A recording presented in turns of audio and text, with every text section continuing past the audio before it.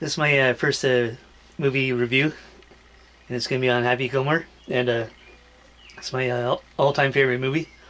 And uh, uh, th- this guy's so funny, and um, I did I didn't realize that um, after seeing hundreds and hundreds of movies, comedies, action, or that this is gonna be my favorite all-time comedy, and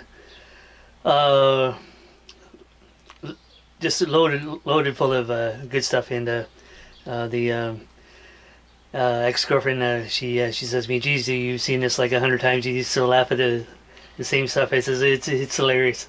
So yeah, yeah, I'm voting this as my best comedy, and uh, it's it's a must see. I know I know it's a, a bit of an oldie, but for whoever whoever's never seen it before, it's a must see. I give it uh, five out of five, and uh, may, may all your movies be five star movies.